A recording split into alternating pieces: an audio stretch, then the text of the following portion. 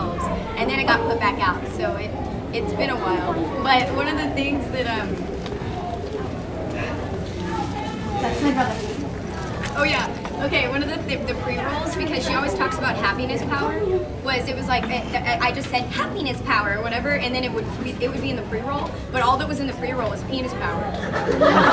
What? Fine, and I'm like, dude, gotta take that off, I cannot do this. Like, yeah, because it was a half of happiness, but oh my god. Penis power, penis power, penis power. It was awesome. What else we got? Nice. Is it weird to play games that you voiced in? Yes. Especially when, um, uh, like, anybody play Brothers in Arms? World War II first person shooter? Okay. Um, I can't tell you the names that I called myself because I wouldn't do what I wanted me to do. That's frustrating. Uh, yeah. I was like, come on! Uh, I love the story that Travis tells, which was the before they did the Full Metal Alchemist show, they did the Full Metal Alchemist game.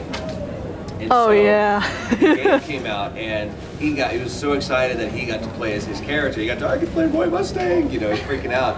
And all he remembered was that whenever he lost, a chibi version of himself would pop up and go, "It's no use, it's no use, it's no use." Shut up!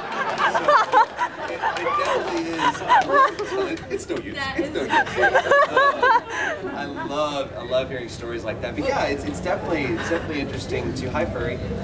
Um, what are you eating? I don't even want to know. Oh, okay. He's going like this. It looked like he had like a sod patch coming out of his Freaking me out. Um, but yeah, like in Final Fantasy, it's a lot of fun. And, and what's really interesting is, I mean, we can we can change our voices up and make it different and make it sound like different people. But when you scream, there's no denying who it is. And I can pretty much tell who somebody is more by their scream than by their voice. But hey, that's Jerry. Oh, that's Travis. Oh, that's me. Yeah. Um, sounds like someone getting their twisted girl. Uh, so like whenever you know, because in, in Modern Warfare 2, I mean it's just total calamity throughout the entire game. But when when I die, I can hear like, oh, that was me. Oh, that was me. Because we all screamed our voices off in that game. It probably just good. But yeah, it's really really good. What else? Yes. What projects you working on at the moment that you can talk about? Uh, Transformers, we finished up. War for Cybertron comes out Tuesday. Oh, really? I'm freaking jazzed about that. I'm not jazzed. Um, Jetfire, but Jazz is in the game. Uh, it's, it's got an event. Peter Cullen, who played Optimus Prime, of course, is in it. Um, Fred Tatasciore is Megatron, I believe. Uh, Fred Tatasciore has been the Incredible Hulk for forever. um, who else? Travis uh, is in it. Travis plays Soundwave. Um, Johnny Yong Bosch plays Bumblebee. I know it's great. It's a perfect choice. Um, I was like, yeah, if you were a Transformer, that's exactly who you'd be. Uh, uh, I can't remember who plays. Is it? I think it's Sam Riegel that does Starscream. Um, it's just great. I mean, the, the game's going to be absolutely. The multiplayer and the co-op Have you is played it yet? sick. Yes, I got to play it at Good? E3. Yes. Okay. It's a lot because I was afraid it was going to be like the Revenge of the Fallen game, which was like, what? I mean, it, it, the, the controls of it are alone. Like, well, first you have to you lift your leg and stand on your head, and turn it sideways, and make sure you count to three once with What? peanut butter. Then you turn into something else. And it was just the most convoluted button scheme layout uh, ever. They really simplified it for this. The weapons are incredible. Um, the, the multiplayer is just stupid, stupid good.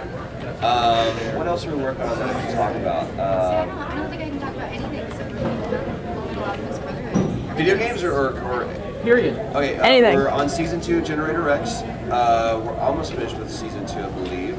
The Avengers, um, the new Marvel show is coming out in the fall on Disney XD. Is it better than Um, that Jimmy Mar- My arms hurt. show that's on right now? my arm.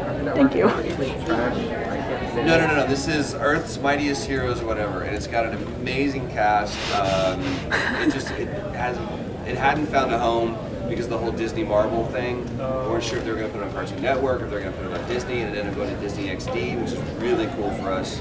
Um, so that should be coming out in the fall. Uh, there's, there's a couple of games.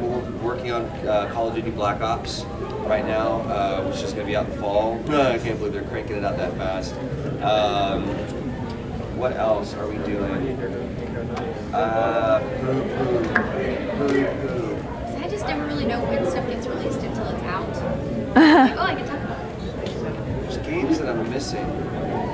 There's a bunch of games that I'm not thinking about. 99 Nights is about to come out. Arcania. Uh, if you guys are fans of the Gothic franchise, uh, that's going to be out in the fall. They just did a great uh, uh, kind of sneak peek at E3 with that. That'll be good. Um,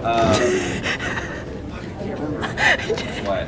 I'll think about it. hand over the achievements over the other. Oh, this is just a request from a friend who couldn't make it. Um, would you guys say something like a phrase with a British accent? British accent? Yeah, both of you.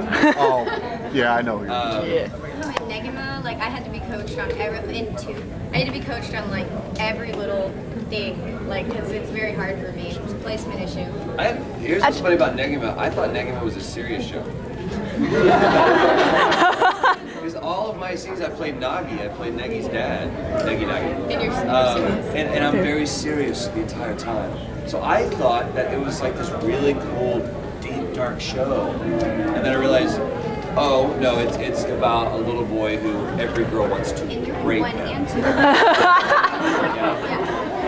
Um, and Greg is great job. Oh my gosh. My, my favorite line in that show, it, it has a British accent. The first time I got to do a British accent in anime. Uh, are you ready? Uh, I'm gonna say a little loud because it is the noise. That. It's kind of loud. You ready? yeah. Whoa. Oh, God. Okay, now I am. yeah, Are you ready? Okay, this Yeah. is uh, uh, this is Nagi Negi's dad and Negima. Try to say that ten times fast. Uh. Take this and may your magic grow strong. Love that. oh, s- Um, I'm making up some minister. Uh, Leonia. Let's see. get on ya. Oh, bollocks! That's what she says all the time. Who else has their hand up? Good. What's your favorite line as uh, Action Bastard? Oh man, that's a popular question because there's a lot of great lines. Um, I still love put a sausage in your mouth. Uh, that was love that great. show. There's I think this one was aired, but it was um, it was just a teenage girl in a hot tub. What could go wrong? That was a funny one. Um, the whole the whole woodpecker. Um, yeah, which was played by Mike Center Nicholas. Uh, that whole episode was fantastic. They had to try man on man to be able to conquer the. Oh my god. Uh, run like the little bastard you are. Um, it's always good. I wanted you to be my little bastard. Um, and I get to play, I can't remember the guy's name, but there are these two cops that move in next door to Shin. And their covers that they're gay lovers. Um, that is probably one of the raunchiest episodes I've ever done of Shin. I can't remember the guy's name. That's where the term strawberry shortcake was used. It got blinked up by Cartoon Network. Which I'm, and kudos to Cartoon Network for being able to pick that up. Yeah, exactly. There's terms that Jared and, and Zach Bolton have come up with as far as like the donkey punch and stuff like that. There's terms that they have come up with that have ended up on Urban Dictionary because they've just created them. and they're- Donkey punch. Final Fantasy 13 who was your least favorite character? Like there's like for Snow, a lot of people said that they didn't like him, but personally I thought he was like a good character because Yeah. he brings a lot of No, there's a lot. Uh, what's really weird is it depends on who you ask. I've heard a lot of people say that they hated Hope. I think Hope was a brilliant character, and I think that Vincent did an I liked amazing him. job with him. I've heard a lot of people say that they hated uh, uh, Vanille. I am. I heard someone say on a on a blog that said that's the worst Australian accent they've ever heard. And that's what I thought it was an And Australian and she's Australian too, I heard. Character end, Well, 'cause I just love her It's speaking with up. What's interesting though is that the person that it's Scorpion and Vanille. That's pretty good over here. Funny is someone says the worst Australian accent. I'm like, really? She's from Melbourne, so it's She pretty is. authentic.